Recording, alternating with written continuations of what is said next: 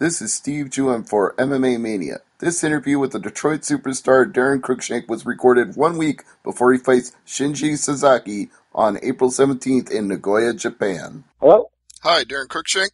Yeah, how you doing? Yeah, I'm doing great. This is Steve Juon from MMA Mania. You're getting everything together to get on that big flight to Japan tomorrow. Yeah, getting all packed up, ready to go. Awesome. It's going to be your first fight in the land of the rising sun. Exactly. I always ask fighters this when they're going to Japan for a fight. Do you like the cuisine? Do you, are you going to be able to eat well while you're over there?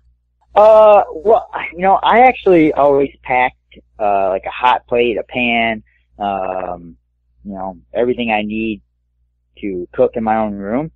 Uh, I like to control what I eat because of the weight cut so hard. Um, so I'll probably just hit a grocery store. Hopefully they have some normal stuff that, uh, that I can eat and, uh, do it up. Well, since you mentioned the weight cut, you're fighting at lightweight for this fight, as you have for most of your career, at least all the UFC fights I can think of. So, what do you eat to maintain yeah. that lightweight? How do you stay? Well, you said it's a hard cut, so how do you keep? What do you eat to stay there? Uh, well, I mean, I probably get. I don't get up too big uh, compared to some guys, but um, I normally walk around about 180, and and you know maybe in the last year and then I diet down to about 171, 172. And then when I get there, I cut the water, I water load, and then, um, you know, cut the rest of the water out and make weight. So, not that big. No, it doesn't sound too bad, but it's been No. in, the, in the news of late again now that California has said they're going to do gravity testing for fighters to make sure they're not dehydrated. And uh, obviously that won't be an issue for Rizin or your fight there, but what do you think with the future of dehydration testing in the sport? You know, I think it's, uh, it's not going to work. I mean, that cutting weight is a part of the sport. That's a part of the fight. That's, uh, you know, that's, it, it doesn't make sense to me how they're going to control people's weight classes. Like, how much more do they want to govern us as fighters? Like, we're fighting. I don't get, uh, I, I just don't think it's, I don't think it's going to work. You know, it, it's, we're not playing Barbies. We're all cutting weight. We're actually fighting each other in the cage. They need to stop trying to make this, uh, this, uh, they need to stop making mixed martial arts into one of the other girly sports around the world. Well, that's straight from the Detroit superstar. Don't turn fighting into a girly sport. As a guy who comes Exactly. from Eastern Michigan, you know about fighting. Yes, exactly. Now, I always wondered why you weren't called the Wayne superstar though, because you're actually from Wayne, Michigan. Yeah, well, I, uh, I, yeah, I'm from Wayne. I went to Westland, John Glenn. Uh, I actually lived in Inkster, uh, throughout my whole high school and middle school career. Um, but, uh, I was actually having a, uh, a fight in, uh, Detroit and for King the Cage. And they had this, like, I didn't have a nickname. They had a, uh, uh like a radio, um, commercial and it was like, you know, come see Detroit Superstars, Daron Cruickshank, and the name stuck ever since.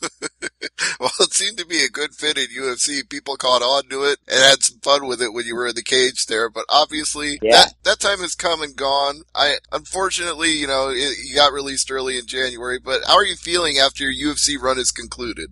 You know, I, uh, I don't feel too bad about it. Uh, I mean, I had an awesome career. Like, you know, a lot of people strive to make it to that level. Um, but I don't think, uh, my career, uh, is over anywhere. You know, I'm still in, in my prime. Um, as far as the cut, uh, the UFC is basically like, you know, you've lost three in a row. We can't, we can't put you on a card. Um, cause as soon as I'm done fighting, I always ask, when can I fight again? Like, we can't put you on a card. We can keep you on the roster. Uh, but we're to have to basically bench you unless we need you for a, uh, short notice fight or like way down the road we can give you another fight. I'm like, well, I need to fight to make money to pay bills. And they're like, well, let's, uh, how about we cut you? You go fight. Uh, potentially you could make it back if you find somewhere else. Uh, awesome. You know, it, so it was kind of, um, like a neutral, it wasn't a bad, uh, let go or anything like that. There's no bad beef between me and the UFC. Um, and potentially I could make it back there. Right. So it's just a mutual understanding on both sides that they didn't see anything for you short term, but you want to keep fighting short term. So everybody's happy now. Yes. That's good. And uh, hey, an impressive performance in Rizin and a few more fights for them or somebody else, like you said, you can be right back in the mix because people get injured or kicked out of fights all the time. So there's always going to be slots open. Right. Tell me a little bit about your opponent for Rizin, this uh, Torio Supernova, Shinji Sasaki. What do you know about him? Uh, well, I, I've watched whatever he's got on YouTube. You know, there's not too many fights of his, uh, but uh, you know, he's got a decent record. I want to say actually we have the same record. I've just fought at a lot higher level than him. Um, I think he's pretty flat-footed on his feet. I think uh, he's better on the ground uh, as far as is like like he's probably more comfortable on the ground than on his feet. Um, I didn't see too much as far as his wrestling, like trying to get it to the ground. Um, I think I'm going to knock his head off into the second row of the uh, venue. Well, that should be uh, how the fight plays out if it goes by just the statistics alone, because he's got only three knockouts versus ten submissions, whereas on your record it's nine KOs and one submission. So you're looking to knock that head out. Exactly. Yes, I'm, I'm going to try to put that in the in left field. Yeah, and you're right about the records. You're both 16 and 8, but he's got three draws. That's the one difference. I've never understood why Japanese fighters seem to have so many draws on their record. I, I saw one recently where he'd had like, you know, 32, 18, and 10. It's like, how do you have 10 draws? What is it about Japan that brings that out? I have no clue. And you know what? I'm going to experience that now. So, uh, maybe we can do another interview and I can give you the old inside put. Indeed, yeah, maybe there's just something the way those fights get structured. But what do you think of Rizin as an organization in itself? They kind of made their name on that Breakfast with Fedor card they did back at the end of the year. Yeah, I'm excited. Uh, you know, I've always been a fan of uh, Pride, uh, growing up watching mixed martial arts, watching UFC, and then Pride was uh, its own animal. And, uh, when Rizin came about, I guess it's all the old owners of Pride that uh, that came together, came back together, and started a new organization. Um, so I'm excited to uh, fight in a ring, fight uh, in front of the Japanese crowd, which is a whole different animal than uh, everybody else. You know, I guess when you watch a fight there, it's like super quiet. They sit there and study and and watch the action instead of like uh, boo boo the guys or cheer for the guys. You know, it's it's I guess it's a little different. Um, but the soccer kicks, the the knees to the face on the ground, that's going to be uh, that's always something I've always wanted to do. Um, growing up watching watching fighting and thought it was pretty exciting. So I can't wait to uh, to try that out. Well, you're right. It is a lot of the old Pride people, not just behind the scenes, the guys like Sakakibara, but the guys in front of the scenes fighting, like Fedor, who I already mentioned, and Kaz Fujita, who's in the main event of this card. So you, you got to be pretty stoked that old Ironhead is going to be out there in the main event after your fight. Right, right. Yeah, it's, it's an honor. And that guy is, I mean, he earned the nickname the hard way. It's like, okay, nobody seems to be able to knock this guy out. He can take a million punches and keep on coming. That was his legacy and pride. I would not want that legacy. I prefer to, uh, to stick and move and hit without getting hit. So that's I, I tend to worry about guys who, who say they don't mind getting hit. You know, it's like, okay, what about 20, 30 years from now? Maybe you'll mind it a right, little bit. exactly. When you're trying to put a conversation together and you can't can't say what you're trying to get out. Speaking of your record of knockouts and wanting to be the guy that delivers the hit opposed to getting hit, what would you say is your favorite knockout of all the fights you've had so far? I, I could pick one, but I want to hear what you say. Uh, favorite knockout, probably my, I mean, my, my real official UFC debut against uh, Henry Martinez. Um, I mean, you can, I guess you count the, uh, the, my UFC debut as the Ultimate Fighter finale, but it was still the Ultimate Fighter finale, not a UFC card. But, um, my fight after that with uh, Henry Martinez when it was a one kick, head kick KO and dropped, he dropped, I put my hands up, I knew it was over, didn't have to follow up or anything. That was a pretty spectacular one, I have to agree. But my personal favorite was uh, actually a fight that I ended up ranking you in the top 15 for. When you caught Eric Koch with that head kick, I was like, boom, top 15 guy right there. well, thank you, thank you. Uh, that that was an exciting one too. You know, I was uh, I was almost like uh, kind of mad that I kept getting leg kicks from him, and I was like, dude, I'm I'm just gonna throw a hard combination, and it caught, and he went down, and I followed up. It was perfect. It was. It was a beautiful finish to the fight. I honestly thought you were heading right up to the top of the division off that fight. And I don't want to dwell on the past, but at the same time, I was like, I was surprised when things started to go south after that. I was like, man, I had top of the division written out for this guy and, and it just didn't pan out. yeah, I had some tough fights after that that would have skyrocketed me, you know, to the to the top ten of the of the bracket. But you know, every fight is, it's a fight, and either guy can win. Those guys were better than me that day. I feel like if I would have had all those a, a second time, it can go either way. You know, I was as far as my uh, career at that time, I was right at the cusp, and uh, uh, you know, it's it's unfortunate that I lost those fights, but that's the sport, that's the game, and and uh, you know, you got to try to come back. It's not uh, out of the ballpark that I can't be, uh, you know, world champion someday, because uh, you know I'm growing and and uh, and learning just like everybody else. Yeah, and you're so, still you're still young in this sport. You're only 30, and a lot of guys fight into their 40s, so you got plenty of time. Exactly.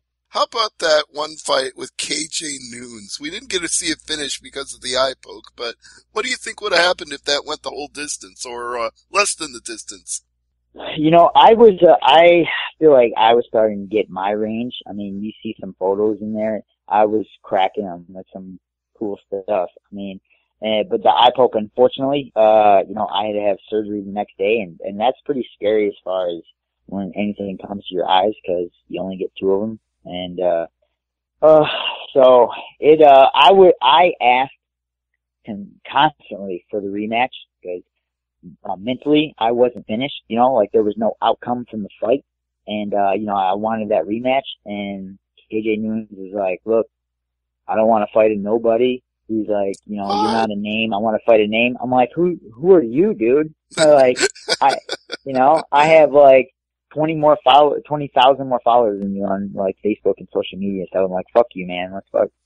But whatever. Pretty sure they cut him too. And, and, what does he have to brag about other than one fight with the Diaz brother? I mean, what, what's right. his, what's a his million legacy? years ago. Right. Yeah. Way back in, what was it? Strike Force or Elite XC? One of the two? Right. Exactly. So.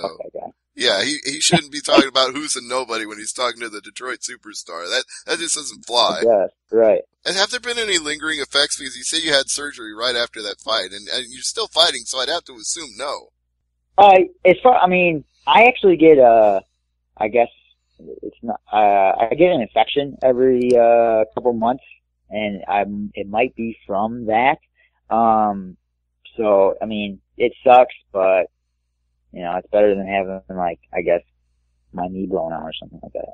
Yeah, or double vision, or a detached retina, like right? Michael No, no, I yeah, I just uh, sometimes I get I I'm prone to more infections than uh, than normal. But I mean, with medicine and you know modern technology, that's stuff that can be controlled, and you can keep on fighting. Right, right. As far as my vision is, my vision's fine. That's good. It's coming up on April 17th, Nagoya, Japan. It's going to be a fantastic card and one of the top fights on the card, Shinji Sasaki and the Detroit superstar Daron Cruickshank. So anything else you want to say about this fight before I let you go? Cause I know you got some more packing to do to get ready to go to Japan. Yeah, I don't know where it's going to be streamed, but, uh, if you can watch it, try to, you know, it's going to be exciting. You're going to see a whole different Daron Cruickshank because the rules are different. Um, and I'm gonna try to come out, uh, vicious and, uh, you know, like a killer. So come watch it. Absolutely. Well, I'm sure that, uh, Rizin PR on Twitter will let us know how it's going to be streamed or available. Maybe we'll get the Breakfast with Fedor deal again. It'll air on tape delay on Spike. I think that'd be a great way for everybody to see your fight. Yeah, that'd be awesome. All right. And since we've already mentioned that you have way more social media followers than KJ Noons, let's throw out those social media plugs. Well, you can follow me at, uh, uh, Cruickshank155 on, uh, Twitter. Uh, Daron Cruickshank is on Instagram and, uh, my Facebook fan page is Daron Cruickshank. So just check it out. Uh, you can also check out my website, or, uh, DaronCruickshank.com Awesome. or my gym's website at MichiganPT.com. Oh, that reminds me. That was one last question I wanted to ask you. The, the name Michigan Top Team, is that like a, an affiliation with American Top Team or is it just your own thing? Yeah, we d- we have no affiliation with uh, American Top Team. Um, we just kind of came together and threw something up, and that that kind of stuck. So we are the best uh, team in Michigan. So I think it's uh, uh, I think we could change the name to Michigan's Top Team. Either way works. I, I'd say go there and train with a Detroit superstar and be one of Michigan's best and be one of the world's best. exactly. Come on up. All right. Thank you again for the time, Daron. I really appreciate it, and I hope you have a successful flight and a successful fight. Awesome. Thank you.